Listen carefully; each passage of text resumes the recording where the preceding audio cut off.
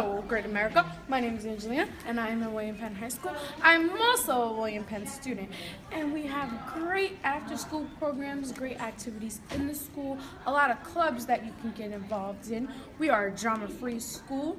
Here is where you can get the great love and affection that you need, and I recommend that you come to William Penn. We got after-school from Thursdays and Tuesdays, and I want you to come to William Penn.